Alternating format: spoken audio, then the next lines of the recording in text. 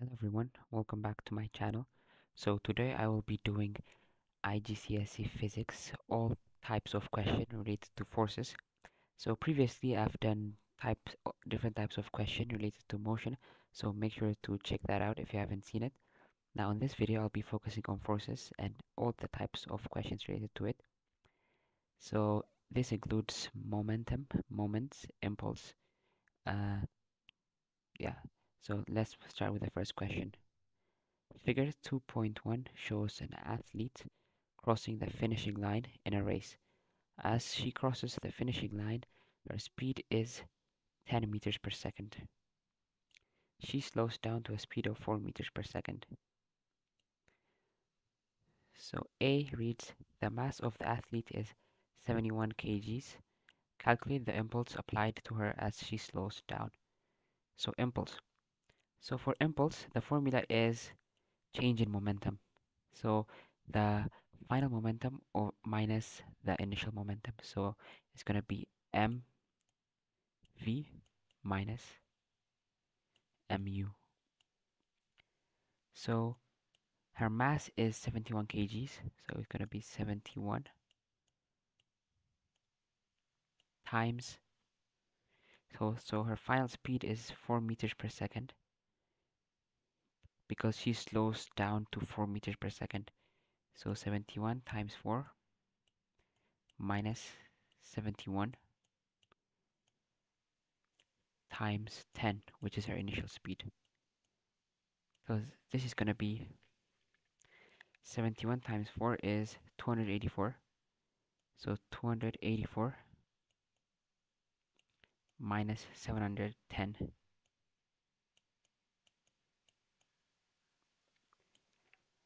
so that's going to be 426 so this the negative signs means that the impulse is on the opposite direction of our motion. So we can just write 426 let's move on to the next one. Define impulse in terms of force time force and time. So basically impulse is the product of force and time so what we write here is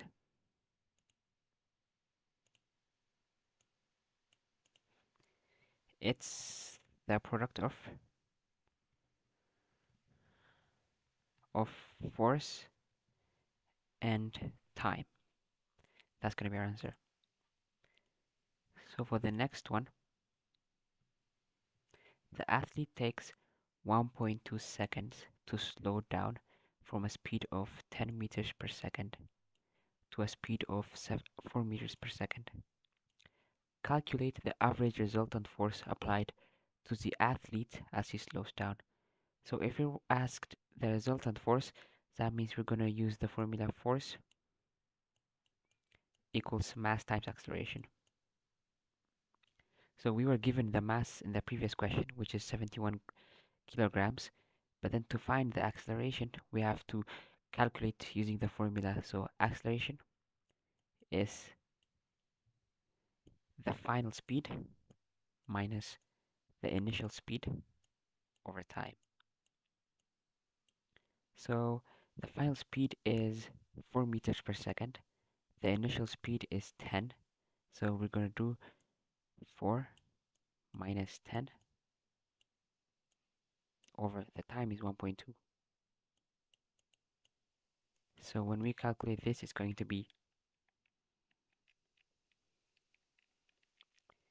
5. So this is going to be this is going to be negative 5, but then we can write it as 5 because the negative just implies that the force or the acceleration is in the opposite direction. So we have 5, which is the acceleration. So the mass is 71 so the force is going to be 71 times 5.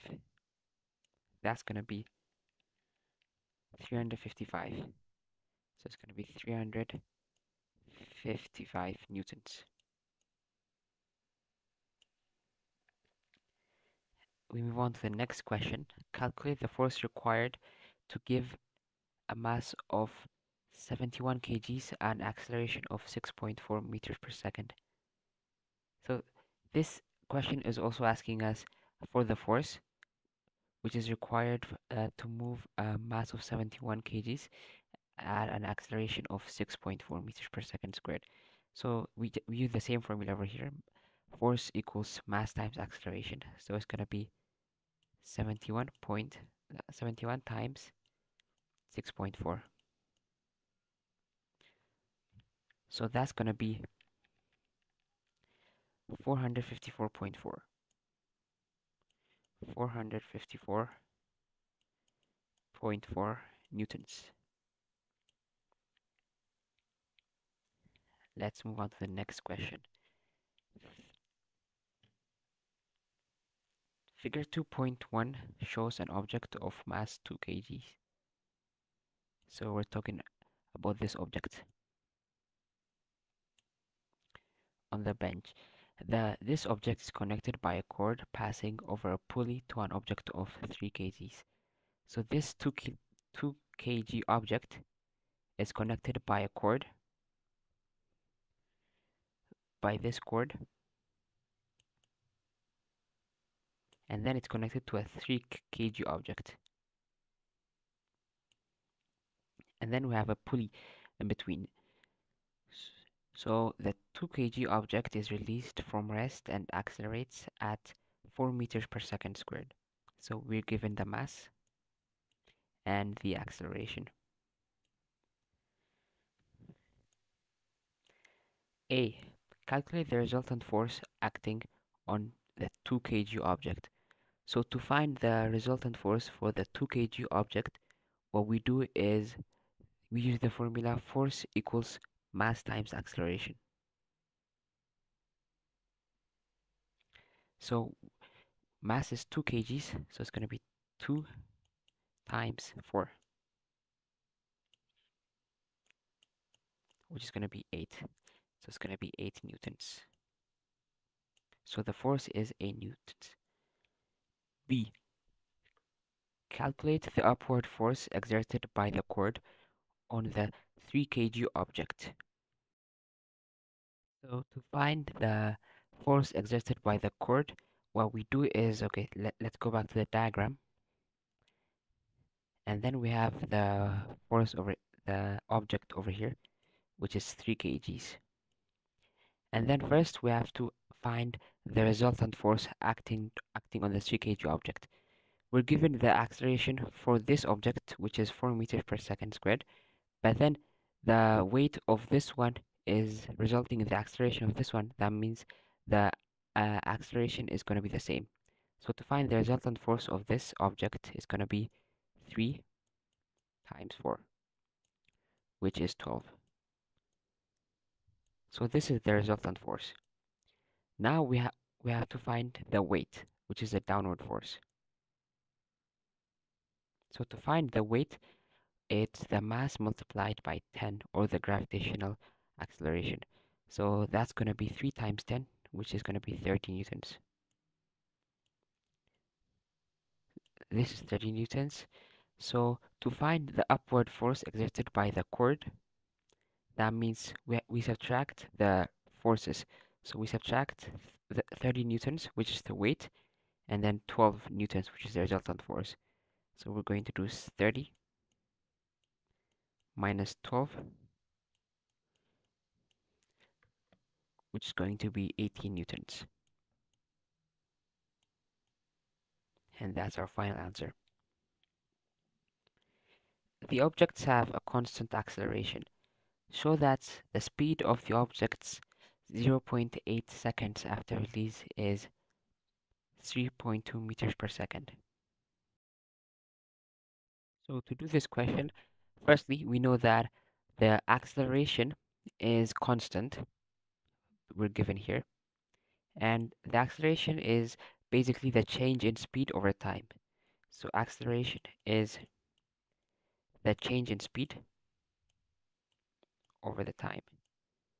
So if the acceleration is constant, that means previously we were given the acceleration, which is 4 meters per second squared. So that means it's going to be 4. And then we have the change in speed over the time, which is 0 0.8.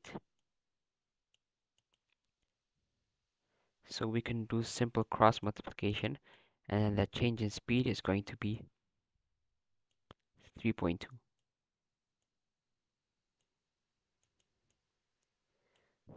So that's how you can easily solve it.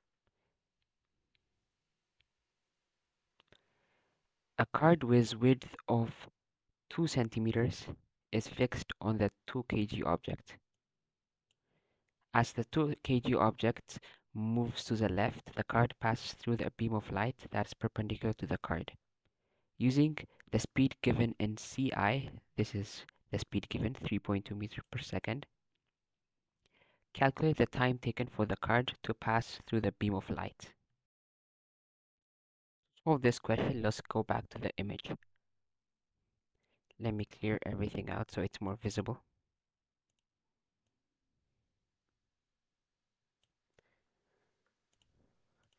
So this is the card we're talking about, which is 2 centimeters in width. So the question tells that it's fixed to the 2 kg object and when the 2 kg object is moving left, the card passes through a beam of light that is perpendicular to the card. So on this question, we're asked the time. So we have the formula that, that the speed is equals to distance over time. So when we rearrange the formula, time is going to be equal to that speed over distance.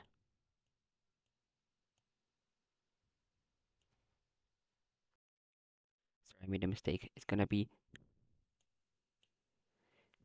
the time is going to be the distance over the speed. So for the distance we have 2 centimeters, but then we have to change it into meters. So it's going to be 0 0.02. So it's going to be 0 0.02 meters over the speed, which is 3.2. So when we divide this, what we get is 0 0.0063. 0 0.0063 seconds. Now we can write this in standard standard form, but this one is also okay. The next question. So this type of question almost always appears in paper 4 exams and it almost always carries 4 marks or more. So let's see, this question also has 4 marks. So make sure you know exactly how to do these types of questions. Figure 3.1 shows a boat stored in a field, in a shed. The boat is suspended from the ceiling of the shed by two ropes. The tension in each rope is 75 newtons. Draw a vector diagram to determine the resultant of the forces exerted by the two ropes on the boat. State which scales you have used. So firstly, we need to come up with a scale. Come up with a scale. First, we need to see what the tension of each rope is. So the tension of each rope is 75 Newton. So we can say that one centimeter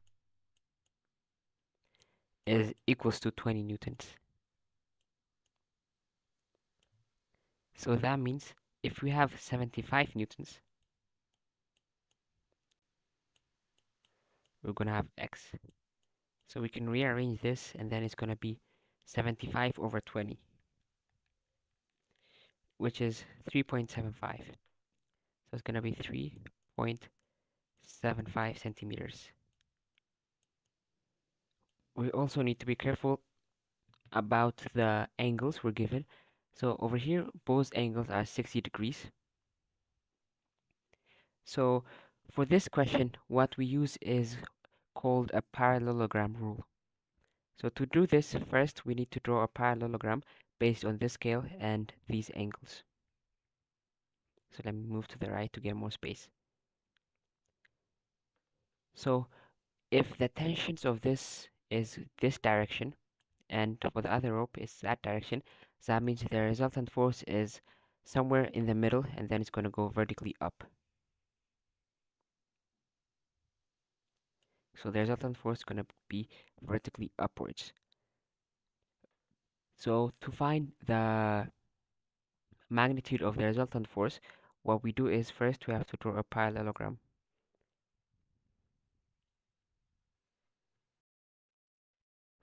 We draw one side of the mm-hmm. parallelogram and draw it at 60 degrees and then make sure it's 3.75 centimeters. So we have our ruler here. So we can draw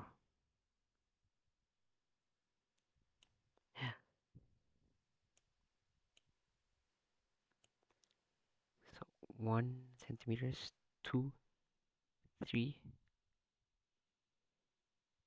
then 3.75 somewhere around here. So now we draw another line at 60 degrees to this line.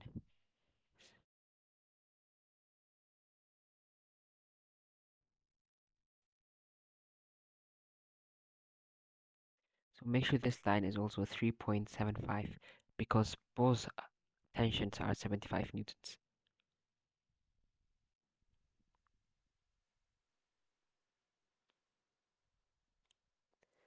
Finally, we can draw another line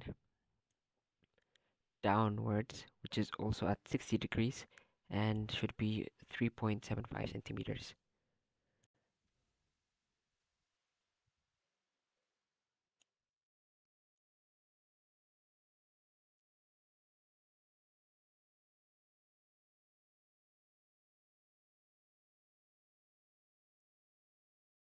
This is also 3.75. Now we just need to join this we just need to join this parallelogram and finish it.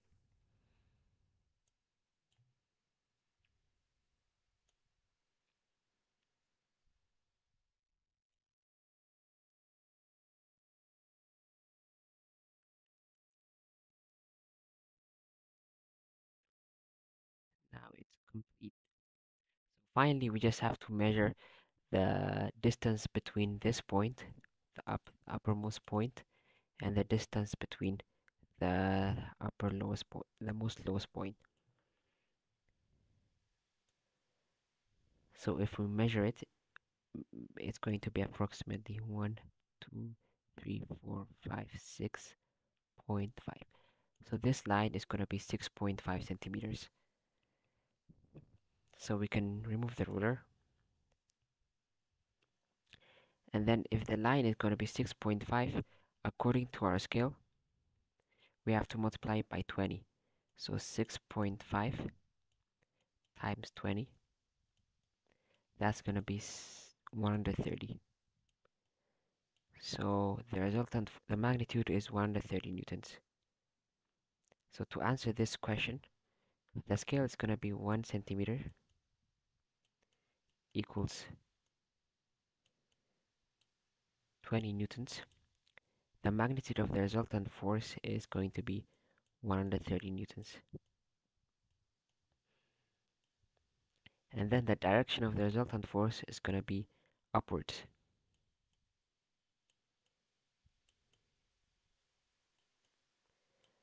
So if you do this question correctly, you can get uh, 4 marks, which is a lot. The next question, determine, determine the mass of the boat. So to find the mass, we already know that the resultant force is going to be 130 newtons. So this is also the same as the weight because the boat is being carried from a ceiling. That means the downward force is the same as the upward force. So the weight is 130. So to find the mass, we divide by 10. So it's going to be 13 kgs. The next question, force is a vector. Draw a circle around two other quantities in the list which are vector. So this is an easy question. One of them is acceleration, and then the other one is going to be momentum. All the other are scalar quantities. We move on to the next question. Figure 2.1 shows a spring balance used to measure the weight of a baby. The spring inside the balance extends when a mass is suspended from it. The dial shows the extension spring has the value of mass in kg. So the, here the diagram. So this is uh, used to measure the mass of the baby and then a spring is extended when the baby the baby is got hanging on the hook. So the first question is the, the spring obeys Hooke's law up to a weight of 175 Newton. We have to underline this. State Hooke's law. So Hooke's, Hooke's law states that the extension of a spring is directly proportional to the force. So the extension of a spring is directly proportional to the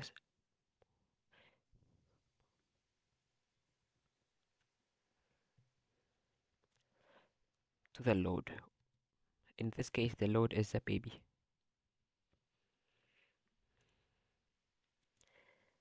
The next one states the relationship between the mass of the baby and the force extended on the spring due to the baby. This question, they're basically asking us to, to state the relationship between the mass and the force of the baby ex exerted on the spring, which basically means weight, because the downward force due to the baby's mass is going to be the, for the weight. So we can write weight is equals to mass times gravity. Then we'll be able to get the full marks. The reading on the spring is 8 kilogram.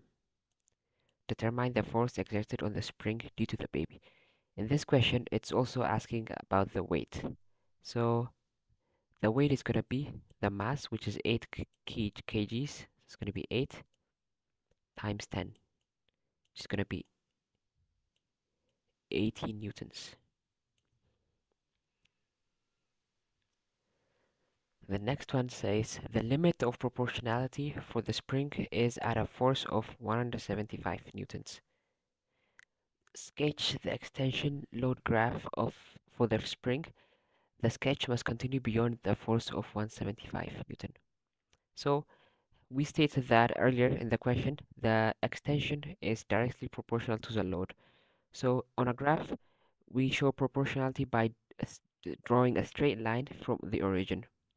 So we can do that. Straight line from the origin. But then, after, okay, so the limit of proportionality is 175 newtons. So after 175 newton, that means Hooke's law will not be obeyed anymore. So this straight line would is going to bend either way. So after 175 newton, it can bend this way. So this could be the graph, and that's how you obtain the two marks. C. The baby is carried from the ground floor to the bedroom. The vertical height of the bedroom above the ground floor is 3.5 meters. Calculate the change in gravitational potential energy of the baby when it's carried from the ground floor to the bedroom. So to find gravitational potential energy, the formula is mass times gravity times height. So the mass of the baby is given, which is going to be 8 kilogram. So we do 8 times 10 times 3.5.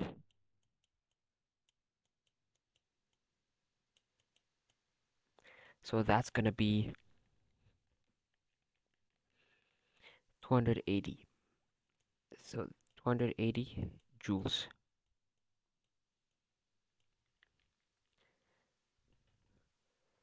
So we'll move on to the next question.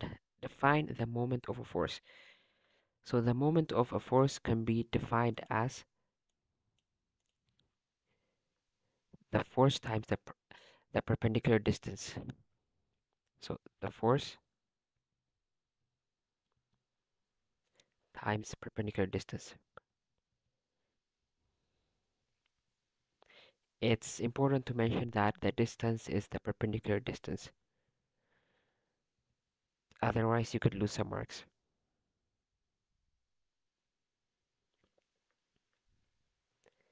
We can move on to the next one. Figure 2.1 shows an object of negligible weight. The object is in equilibrium. The object is free to rotate about its pivot P. So this is the object we're talking about.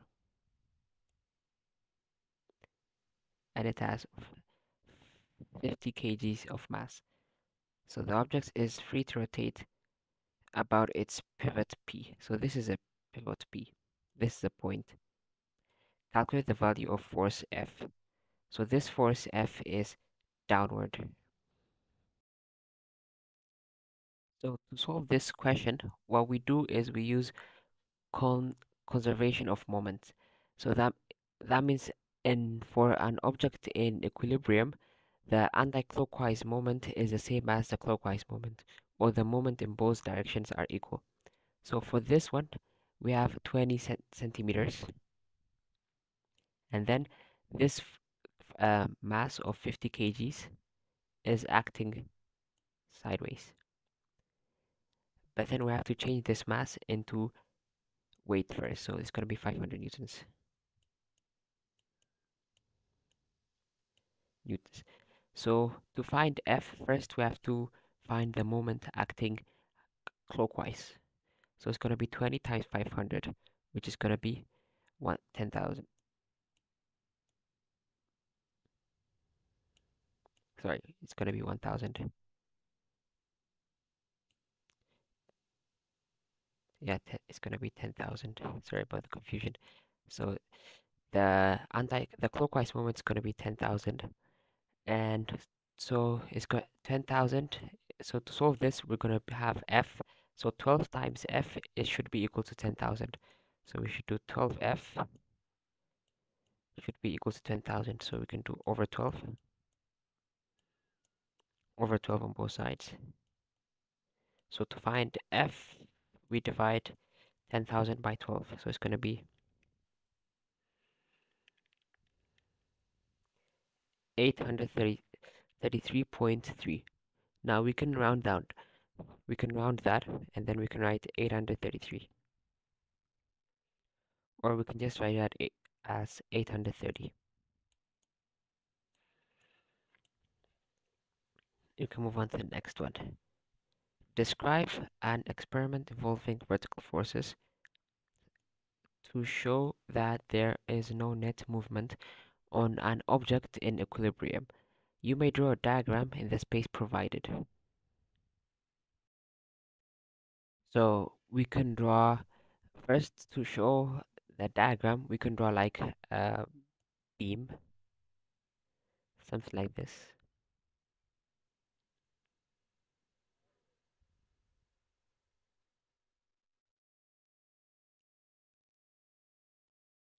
And then we can draw uh, like a pivot and then we'll have weights on both sides so this weight let it be 20 newtons.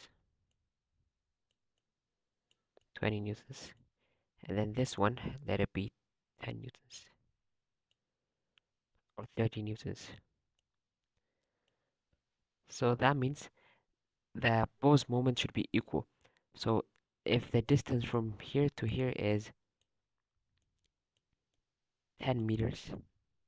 That means the moment for this one is going to be 10 times 20, which is going to be 200. So for this to be 200, we can divide 200 by 30.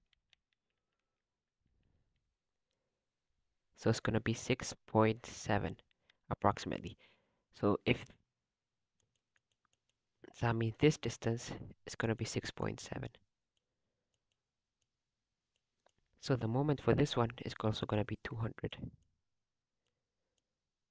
So the object is in equilibrium. So to explain that, we, we already have a diagram, so we don't, we don't need to write much. But for a sh short explanation, we can say the anti-clockwise moment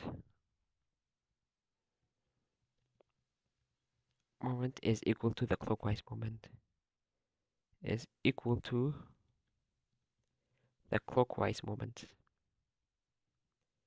Moment. So if we have if we have a sufficient di diagram we don't need to add uh, much to write. We can get the three points because of the diagram and the labels like the 30 newtons the 20 newtons and the distances.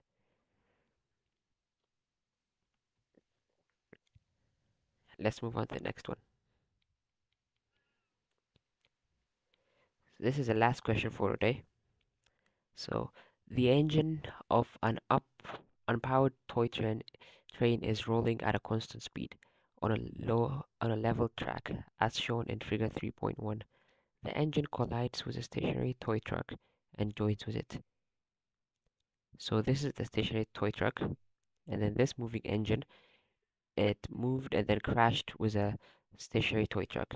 Before the collision the toy engine this toy engine was moving at 0.32 meters per second the mass of the engine is 0.5 kilograms. Calculate the momentum of the toy engine before the collision. So before the collision, momentum, the formula of the momentum is momentum is equals to mass times velocity. So the mass is 0 0.5, 0 0.5 times 0 0.32, which is a velocity.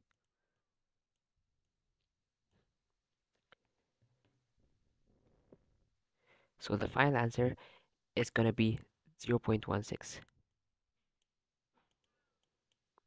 And the unit is going to be kilogram meter per second. On the next one, the mass of the truck is 30 kgs. Use the principle conservation of momentum. Calculate the speed of the joint engine and the truck immediately after collision. So we're given the mass of the truck. Now on this question, we're told to use the principle conservation of momentum. So this principle conservation of momentum states that the momentum before collision is going to be the same as the momentum after collision. So the momentum before collision, we have it in the previous question, which is 0.16. So we have 0.16. So for the momentum after collision, it's the sum of the masses of both objects times their speed, the new speed. So we're told to find the new speed. So the sum of the mass is going to be 0.3 plus 0.5. That's going to be 0.8 kgs. 0.8 kgs times then the speed, which we don't know. So to find V, we can do over 0.8 on both sides. And then over 0.8. So the new speed is going to be 0.16 over 0.8, which is going to be 0.2 meters per second.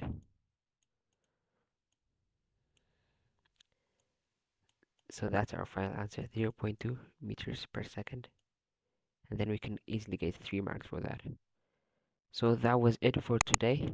If you enjoyed make sure to like and subscribe. And if you have any questions or suggestions make sure to drop them down in the comment thank you